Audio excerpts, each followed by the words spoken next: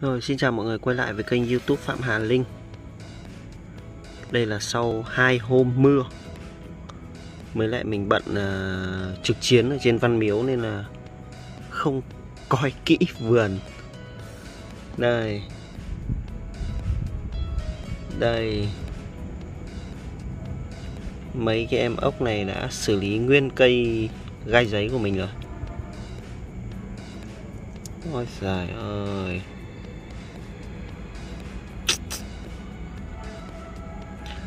Không muốn sát sinh đâu, nhưng mà Nhìn này ức chế quá. Ôi trời ơi.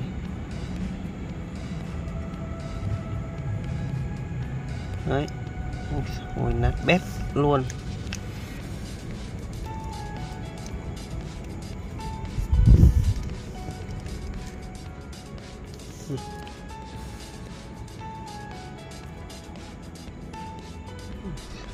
Chán thế một cây. Đây. Giặc đây. Ây. bây giờ khéo phải xử lý chỗ này nhanh thôi chứ. Mai phải xử lý nhanh thôi, chứ không là ăn xong một loạt này, nopan hay tay voi này thì chết dở. Tay voi, nopan. Mấy cái này là mấy cây nopan là nhánh nhỏ này. Đấy nhánh nhỏ xong là trồng lên. Cái, này hai lá này cái này một lá cái cái này một lá thì cái lá này to hơn nhé chính xác là to hơn đây này dày hơn này. Đấy còn đang xa thôi. Đó. đây cũng nộp ban gốc lên đây lên lá ngọn này. Đấy to hơn. Còn cây này là cây tai thỏ rồi. Trời ơi bây giờ là xử lý đống này là xử lý như nào là ok nhất này. À, bốc bốc bốc. Bốc một nhóm này rồi cho vào cốc giã rồi được rồi xử lý. Xem còn không. Quanh này còn không. Đấy, đấy tận dụng đất trống thôi. Cho mấy cái cây gai giấy này vào đây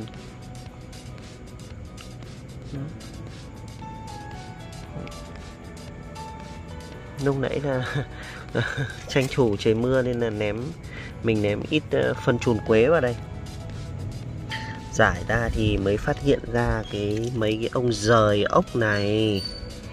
Mấy cái ông rời ốc này trời ơi cây ơi là cây mất một gốc rồi. À đây thì trong này trong này còn này, trong khe kìa. À, trong khe này. Đấy. Một con. Không zoom mà được à, thôi bây giờ mình phải xử lý xử lý lỗ đây. Nopan cầm tay anh. Thuốc trị gọi là trị sâu. Không phải sát sinh đâu nhưng mà mình mình mình này bảo mình.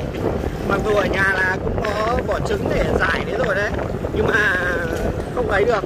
Thời gian này lại mưa nhiều là một thứ hai là thời gian này là đang uh, triển lãm ở các miếu nên là phải uh, phải đi chế những cái này về giải gốc để uh, nếu mà nói chính xác là để diệt sâu à, diệt ốc chứ nhìn đấy cái cái mọi người xem đấy mất leo luôn một cái cây rồi chính là chưa kiểm tra kỹ nhá bây giờ là là về là sẽ tối nay là phải đi soi kiểm tra kỹ luôn kiểm tra hoàn luôn những tiếng cười rộn vang khung trời rồi lúc rơi hơn em lặng im không nói. Những tháng ngày hồn nhiên nô đùa, tuổi thơ tuyệt vời người ơi. Chiếc lá vàng nhẹ rơi cung đàn, những nốt nhạc cho bài ca hát. Hát với đời, ngày vui bên người, để con tim nghe thiết. Sụng nại bè rỉ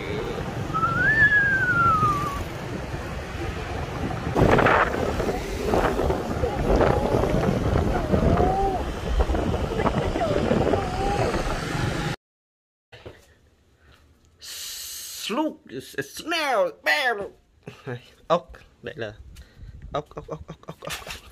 Đây là toàn tên tiếng Anh thôi nhưng mà cứ giải xuống là ok. Cứ giải xuống là ok. đây là một chậu tai voi này đấy có ốc đây là có ốc hỏng rồi mình phải loại ngay cái này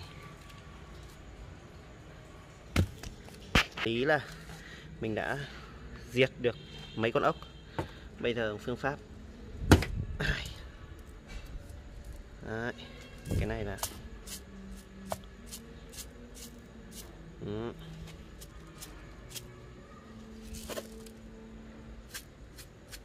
có cái mùi rất là hăng hăng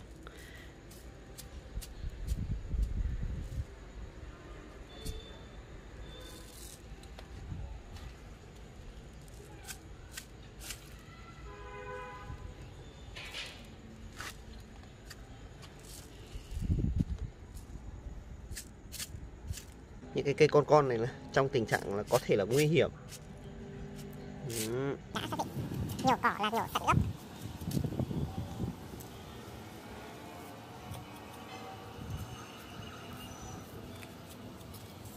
mấy gốc nộp tan nộp tan tay rồi. Nộp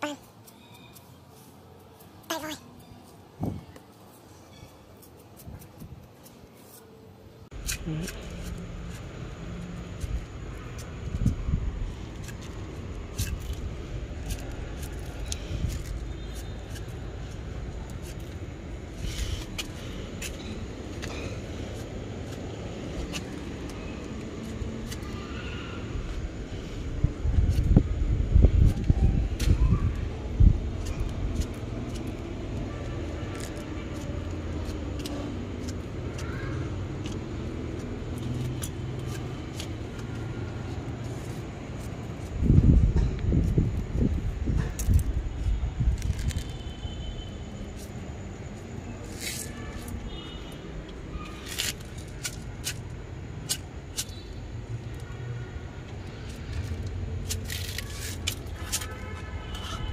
ý mà cái cây gai giấy của mình chết này. Cho, đấy, đây. Ừ. chỗ này thì có thể là nó sẽ còn mầm mống nên là cho. Ừ.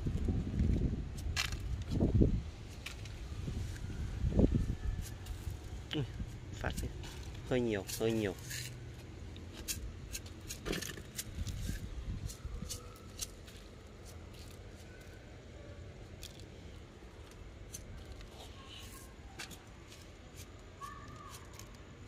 Đây là có rắc vỏ trứng rồi đấy, nhưng mà vỏ trứng cũng không ăn thua lắm.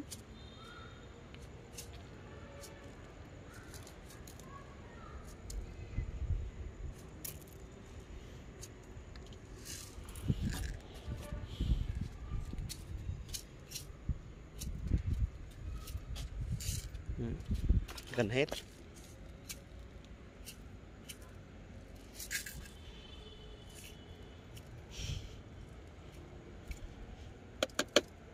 Rồi, hết. Cái này là có thể là tạm an tâm một phần rồi. Rồi, mọi người nhớ đăng ký và chia sẻ cho mình nha, kênh YouTube Phạm Hà Linh. Giờ mình cố gắng đã chuyển sang cái mảng xương rồng này làm. Đây, đây hai nhánh.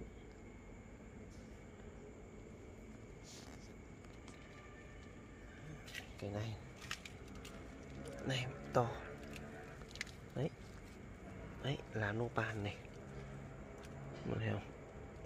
Ừ. cái này phải tầm gần 40 phân. Tay thỏ đột biến. Cây này hôm mình cắt đi thì bây giờ nó đang lên mầm này, nô pan này. À còn đây nữa. Cái cây này là mới trồng đây nhưng mà hai lá chưa lên mầm, còn đây là đã lên mầm rồi nha một mầm. À, một mầm rồi. Đấy. dày không? Dày. Ừ. nhưng mà đúng cây cây này dày nhất khỏe nhất này. Đấy. Chiu. Đấy đẹp không? Đó mọi người. Wow.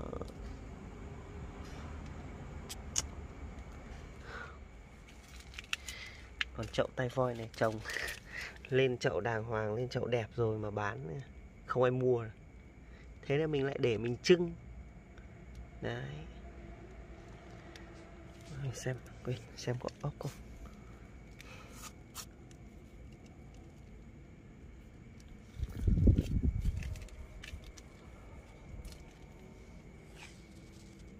Không có.